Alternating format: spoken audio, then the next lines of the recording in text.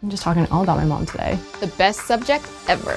Today, your favorite YouTubers are answering your questions on makeup. I like to call makeup an added boost of confidence. I guess it's a beauty enhancer. A little bit does go a long way. I think it's fun to experiment with different techniques. When I know my makeup's on point and my lashes are fierce, I feel a lot taller, I feel a lot more confident. I think eighth grade was when I started wearing makeup. No one really taught me how to use it. Girls don't wear makeup for themselves. They wear makeup trying to tell the world this is who I am, or at least this is who I think I am. What if you just want to cover up a pimple, bro? I wear makeup for myself, no one else. People always think, oh, are you wearing that makeup for guys? No, absolutely not. I'm gonna walk out in black lips, blue lips, gray lips. It's real life Photoshop. Makeup is meant to just enhance the beauty you already naturally have. Obviously, if I have a pimple, I'm gonna put makeup over it to cover it up. But if I'm not filming for YouTube or if I'm not going out, you will find me without any makeup. I think guys can wear makeup, rock a little bit of guy liner. I personally wouldn't prefer to wear makeup on a day-to-day basis,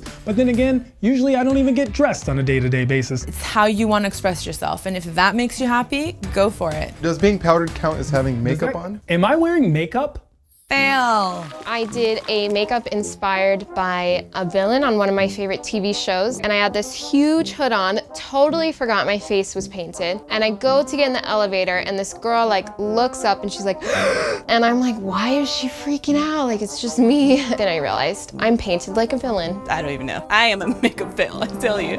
Okay, so the difference between beauty cream, CC cream, foundation, and moisturizer is I don't know the difference. All that I know is foundation can be really cakey. Don't wear too much of it. I promise you, it's all about the technique. If you apply it properly, you will not feel caked up. Uh, moisturizer moisturizes the skin. Rubbing concealer in instead of tapping the concealer in is one of the biggest mistakes I know a lot of girls do. Beauty cream is a cream I'm assuming you apply at night. I have no idea what BB cream or CC stands for. Lipstick or mascara? You can't ask me these questions. Lipstick. I can go without lipstick, but I can't go without mascara.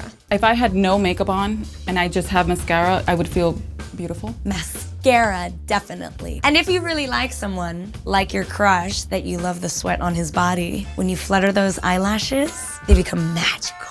Ladies, if you want to change up your eye makeup this spring and summer, just know the pattern of colors. This year, greens are definitely in. Two different colored eyes. We like the big eyes. It's just overall fun. You know, lips are the thing. These Too Faced, melted, liquefied, long wearing lipsticks are amazing. I learned that waterproof mascara does wonders. I change up my liquid foundations in the summertime. I try to stick with just using powder foundation in the summertime. Give yourself a wonderful, amazing appearance. Remember, it's all in the look.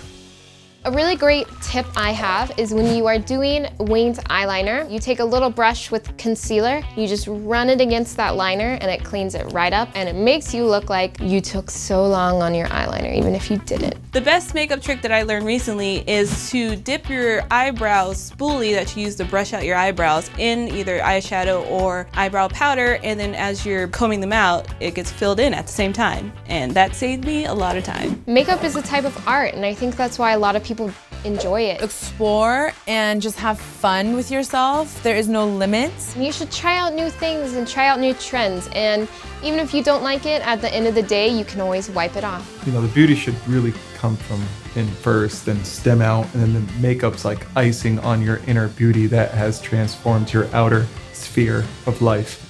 What? One more FAQs? Then let us know your frequently asked questions in the comments below.